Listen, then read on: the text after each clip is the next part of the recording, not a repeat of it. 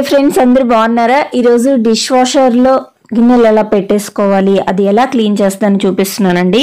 చూసారు కదా నేను ఈ ఇడ్లీ పాత్రలు కానీ ఇవేమి అంత మొత్తం క్లీన్ చేసి ఏం పెట్టలేదు. ఎలా ఉన్నవో అలాగే పెట్టేస్తున్నాను.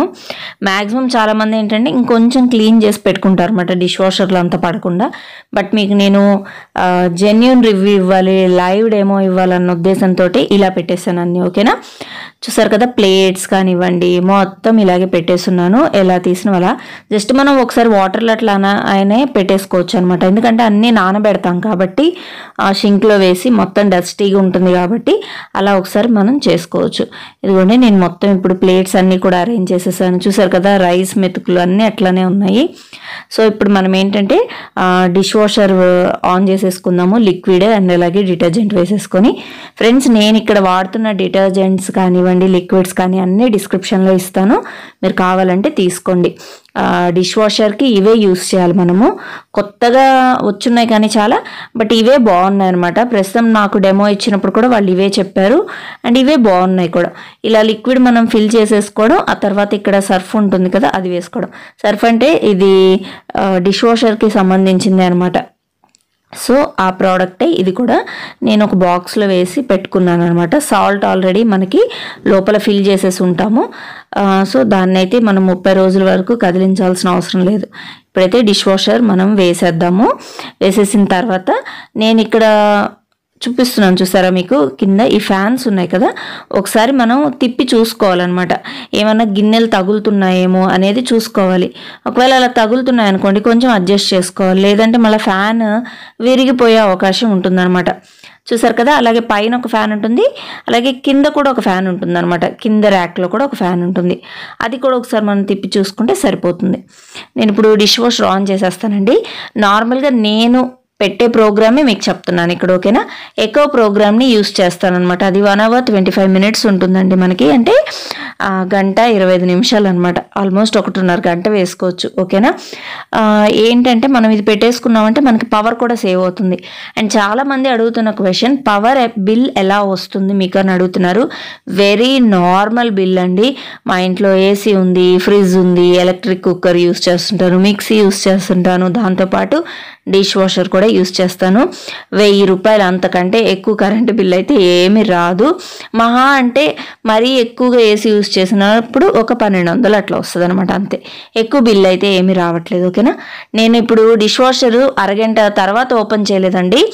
ఇంకా ఒక వన్ అవర్ అలా వదిలేసి ఓపెన్ చేశాను అనమాట ఆ నీళ్ళన్నీ పోతాయి ఆవిరైపోతాయి అనమాట అదే అయిపోగానే ఓపెన్ చేశారంటే ఆవిరితోటి నీళ్ళన్నీ కొంచెం అక్కడక్కడ ఉండిపోతాయి. ఆవిరిగా పట్టినట్టు ఉంటుంది కదా గిన్నెలకి బాగా వేడిగా ఉంటుంది కదా. వేడి నీళ్ళలో కదా వాష్ చేసేది. సో అందుకని అలా ఉంటుంది. అదే కాసేపు మనము ఒక గంట రెండు గంటలు వదిలేసాం అనుకోండి మనకి నీట్గా అవన్నీ ఆరిపోయి చక్కగా వస్తాయి అనమాట నేనైతే మ్యాక్సిమం నైట్ పడుకునే ముందు డిష్ వాషర్ ఆన్ చేసేసి పడుకుంటాను అనమాట అలా చేసినప్పుడు మార్నింగ్కి మనకి గిన్నెల్లో ఇంత కూడా వాటర్ ఉండదు చక్కగా అన్నీ ఆరిపోతాయి. మనం పెట్టుకునేటప్పుడు కూడా బౌల్స్ అన్నీ ఇట్లా రివర్స్ చేసి పెట్టుకోవాలన్నమాట అన్నీ కూడా. వాటర్ అంతా కిందకి దిగిపోతాయి. ఫర్ ఎగ్జాంపుల్ అక్కడ నేను ఒక మిక్సీ గిన్నె పెట్టున్నానండి. అది చూపిస్తాను. దాంట్లో వాటర్ ఎలా ఉంటాయి అనేది చూపిస్తాను మీకు. ఇక్కడ చూసారు కదా ఇడ్లీ పాత్రలు అవన్నీ పెట్టున్నానా నేను. అవి చూసారా ఎంత తెల్లగా నీట్గా అయిపోయాయో. కాకపోతే దీనికి కావాల్సింది ఏంటంటే నానబెట్టాలండి. చక్కగా గిన్నెల్ని నానబెట్టుకోకపోతే మాత్రం మీకు ఇంత నీట్గా అయితే రావు. ఇక్కడ చూసారా ఇది ఇట్లా పెట్టున్నాం కదా దానిలో వాటర్ ఉండిపోయాయి. చూసారా అది వాటర్ ఎటు వెళ్ళే ఆస్కారం అది లేదు కాబట్టి అలా ఉండిపోతాయి అనమాట కొన్నిటికి. మనం సరిగ్గా క్లీన్ చేయకుండా ఎక్కడైనా మెతుకులు అట్లా ఉండిపోతాయి కదా అవి కొంచెం అట్లా పడిపోతాయి అనమాట వచ్చి. చూసారా? ఇలా పడుంది దీని మీద. సో బట్ చాలా ఈజీ అండి. చాలా టైం సేవ్ అవుతుంది మనకి డిష్ వాషర్ ఉండడం వల్ల. నేను చాలాసార్లు అనుకున్నాను డిష్ వాషర్ అంత నీట్గా చేయదు క్లీనింగ్ అని. బట్ అలా ఏమీ లేదు. చాలా నీట్గా క్లీన్ చేస్తుంది మనకి చాలా పని తగ్గిపోద్ది హైజీనిక్గా కూడా ఉంటుందన్నమాట. చూసారు కదా మీకు గిన్నెలు ఎంత నీట్గా వచ్చేస్తాయి నేను wooden spatulas steel bowls ceramic ఉంటాయి కదండి పింగాణివి గాజువి అన్నీ పెట్టేస్తాను అనమాట ప్లాస్టిక్ అయితే పెట్టనండి చీప్ ప్లాస్టిక్ అనండి అది ఏదైనా కానండి తొందరగా మెల్ట్ అయిపోతుంది వేడికి చాలా వేడి నీళ్ళతోటి వాష్ చేస్తుంది అనమాట గిన్నెలు. ఇంకోటి కొంతమంది ఇంతకుముందు నేను డిష్ వాషర్ వీడియో చేసినప్పుడు అడిగారండి గీతలు పడున్నాయి గిన్నెలు కానీ ఆ గీతలు అనేవి డిష్ వాషర్ పెట్టినవి కాదండి. మనం పెట్టుకున్న గీతలు అవి మనం నార్మల్గా ఇంతకుముందు స్క్రబ్ స్టీల్ స్క్రబ్బర్ తోటి యూస్ చేస్తాం కదా అప్పుడు గీతలు ఆటోమేటిక్గా పడిపోతాయి అనమాట డిష్ వాషర్కి ఎటువంటి గీతలు పడవు. ఎందుకంటే ఓన్లీ అది వాటర్తోనే ఆ వాటర్ ఫోర్స్ తోటే వాష్ చేసిద్ది అనమాట ఫ్యాన్ తిరుగుతూ ఉంటుంది చూసారు కదా లోపల? దాని నుంచి వాటర్ వస్తుంది.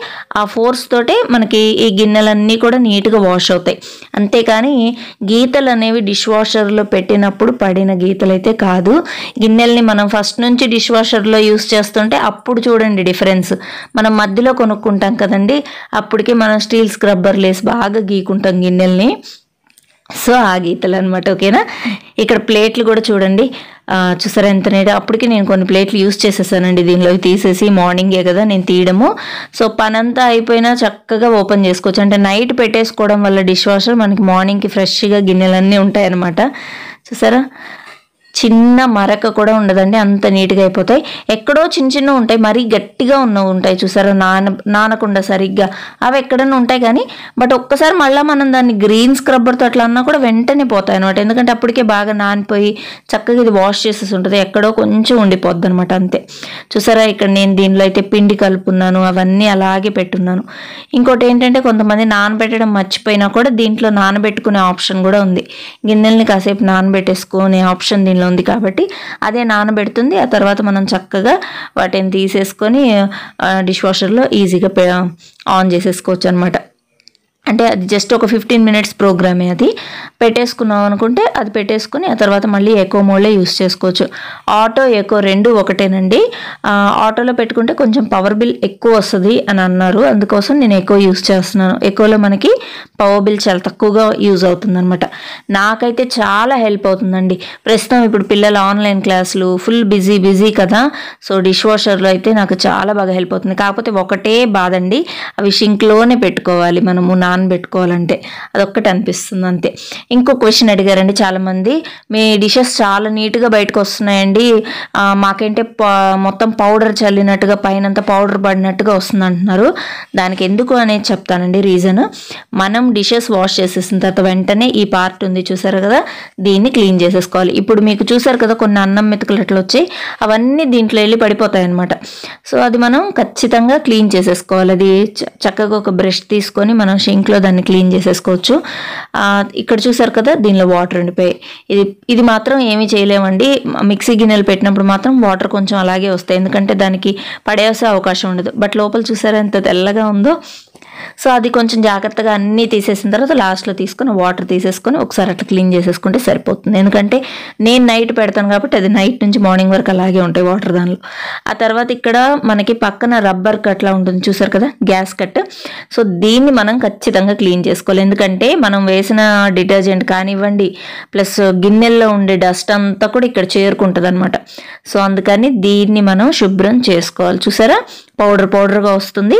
ఈ పౌడరేనండి మనం నెక్స్ట్ మళ్ళీ డిష్ వాషర్ యూస్ చేస్తాం కదా అప్పుడు దీనిలో ఉన్నదంతా వచ్చి గిన్నెల మీద పడుతుంది అనమాట సో అందుకు మనం ఎప్పటికప్పుడు ఇలా క్లీన్ చేసేసుకున్నాం అనుకోండి నీట్గా మనకు ఆ పౌడర్ అనేది ఏమీ పడదు. నీట్గా గిన్నెలు ఇప్పుడు నాకు ఎలా వచ్చాయో ఆ విధంగా వస్తాయన్నమాట. ఆల్మోస్ట్ మీ డౌట్స్ అన్ని ఈ వీడియోలో చెప్పానండి. ఎందుకంటే last time dish washer video చేసినప్పుడు చాలామంది ఈ డౌట్స్ అడిగారు. సో వాళ్ళ కోసం ఈ వీడియో అనమాట ఓకేనా ఇవన్నీ కూడా మనం క్లీన్ చేసేసుకోవచ్చు ఎప్పటికప్పుడు నీట్గా. మీకు డిష్ వాష్ డీస్కేల్ పౌడర్స్ కూడా దొరుకుతాయి. అవి కూడా యూస్ చేసుకోవచ్చు. అవన్నీ లింక్స్ డిస్క్రిప్షన్లో ఇస్తాను.